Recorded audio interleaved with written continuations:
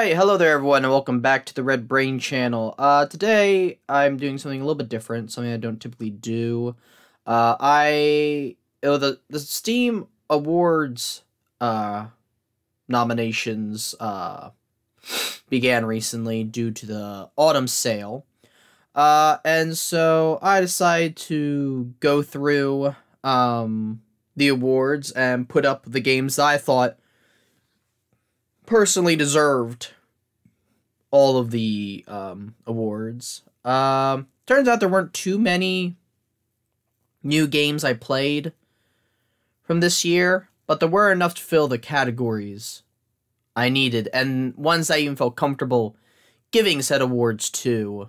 Um, so yeah, so I'm just gonna go through them, and yeah, we'll just go through one by one. All right, so first we have for game of the year, we have It Takes Two. Um, well, for those of you who have seen it, uh, James and I have begun, uh, have begun playing the game, or as of you was Revel. Um, so we started playing the game. Uh, we're only, I'd say we're only about a quarter of the way through the game so far. Um, but we're both loving it. It's an absolutely brilliant game. Um, like, I wish more games like this were released. Uh, but it doesn't seem to be right now a very popular form of game to developers right now. But it's like it's so well polished and well done. It's like it's absolutely brilliant. And just me looking at the Reddit, um, for this game, they they consistently um, have such glowing things from the community there that are talked about. Um, that, you know, it, it it seems it seems like a a good fit for game of the year, especially with the game design, characters, all this stuff. Like James and I, we're just we can't wait to play next time. Obviously, it's the next video for it is gonna be out soon. Um, but we're kind of at a pause right now for playing it personally because uh, one of the bad things about it, uh, it destroyed James's hard drive by accident. Uh, which I know that doesn't sound like thing. Be like, are you sure you should give this thing Game of the Year award if it destroyed your friend's hard drive? Fuck it, yes. Uh, go ahead and do it. So, all right, let's move on. Uh, VR Game of the Year award. I didn't have to worry about that because I do not own a VR system. Um, I have a computer that can run VR, but I do not own a VR uh, headset of any sort, and so there's really no games that I could put on there. There's no real VR games that uh, my friends have talked to me about that have come out this year. They've been like, "Yo, this is amazing!" So I just haven't nominated anything. Um, this next one, the Labor of Love Award, I gave to No Man's Sky, which No Man's Sky is a game. Uh, I think I want to say I started playing it. I think I started but uh, started playing like winter of not winter 2020. Might have been winter 2020. It was either winter or summer 2020. I know it was like smack dab in the middle of the pandemic. Um, so yeah, it is a game that obviously a lot of people were like, "Oh, uh, it's not that great of a game." I think it's wonderful, and especially with all the updates coming out. Like I, I I've seen the community sort of come back to it. Um, seen people recognize it um, as being a great success, and I think more studios can learn from the amount of love that the developers have given this, and then the community has come back to give it. Um, that it's not, it doesn't always look good to abandon bad games or games that come out bad at the start. Sometimes, if you just stick with it, um, you can, you know, make something amazing out of a bad game. Um, one of the games I list off of my head right now that I wish developers had abandoned was uh, Mass Effect Andromeda. That game, there was missing a lot of content and it was very buggy. Um, but if they had just worked on it a little bit more, they could have had a great game. Because I feel like it fell victim to an even worse fate than Mass Effect 3. Um, but that's the story for another time. All right, next is Better with Friends, which I put Battlefield 2042. Now, this one, uh, if anyone truly follows me a lot um, of what I do in video game journalism and all that stuff, you're probably going to be wondering, well, why would you put this as Better with Friends award if you gave it a 5 out of 10 on Phoenix Gaming? Well, the thing that I would say for that is I think that this is perfectly fine. Um, because it is Better with Friends. I, I have the only person I played it with currently is Bob, but um, Bob has Bob and I when we played, it was amazing because every once in a while I get upset playing the game because people don't really know that anyone can revive someone.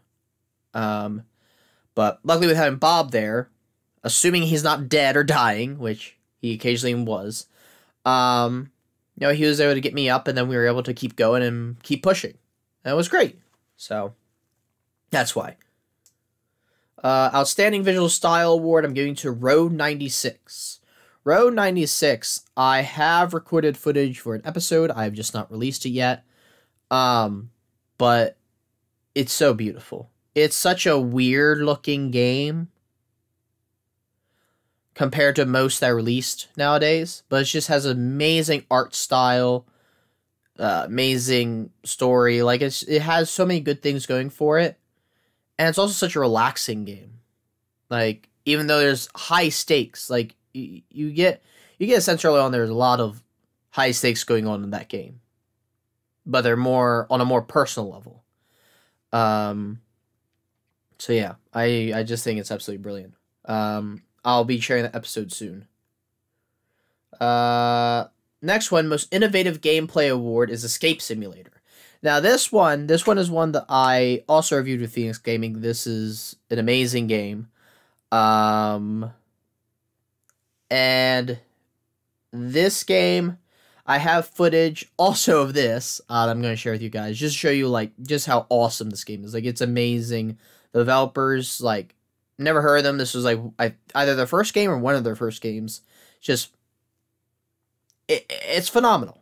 Um so yeah, and I have some footage I've done with Chase, and I'm gonna release that. I did want to do the a good chunk of the campaign, release it that way, but um, some of the audio got lost, uh, so wasn't able to do that. But now we're doing the custom maps, and I managed to fix and make sure the audio was good. So, um, so yeah, you should be seeing that soon of us doing the custom maps. Next one is Best Game You Suck At Award. This I gave to Total War Rome Remastered, or for those who are original fans of the OG game, Rome Total War. Um, this game is one that I loved as a kid. Like this was the game I played on the laptop. It's a game I connected with my cousins in, where we connected with video games in general. But this was a big one for all of us because we could just have our laptops and bam, have it out. Um, but yeah, this uh it's been a while for me playing this game.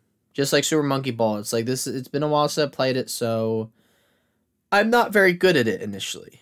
But I just have to keep at it, go back to it and hopefully, you know, figure it all out.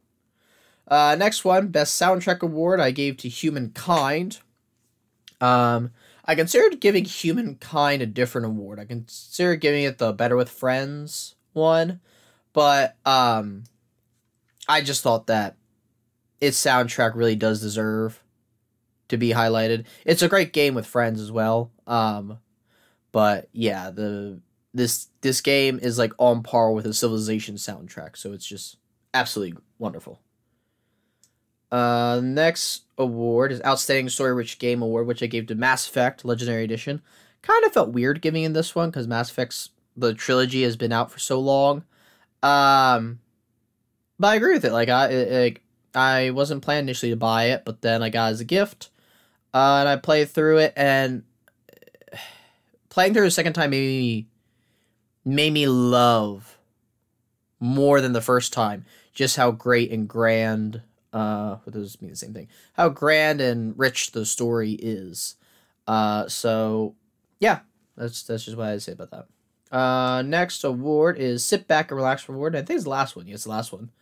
Uh, and it is uh, Tabs or Totally Accurate Battle Simulator. It is a game I just got a month ago, but easily it's one of the games I can just be like, sit back. I just use mouse and I just make up the dumbest battle scenarios and just be like, yeah, okay, let's see if this works. Sometimes it does, sometimes it doesn't, but regardless, it's hilarious. So, yeah, plain and simple. All right, well, that's all I have to say. I do want to uh, ask you guys put in the comments which games that you have put for the Steam Awards. And just so you know, nomination period, let's see, it goes on. It doesn't really say. I assume it'll go on. The nomination will go until December 1st, and then we vote during the winter sale. Um, and then the winners will be announced January 3rd at 10 a.m. Pacific Standard Time, January 3rd. So, yeah, but I'd love to see what you guys, uh, what games you've nominated, uh, and if you agree with any of the picks I have. So, uh, thank you for listening to me uh, talk about all this, and I will see you guys uh, in the next video, and hopefully it's a regular video. All right, adios, and have a good day.